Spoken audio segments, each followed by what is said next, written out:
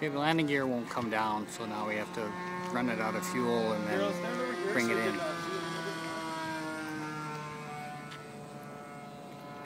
Stand over here.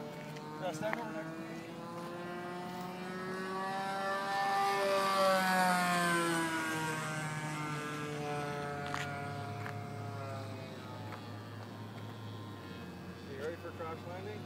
Yep.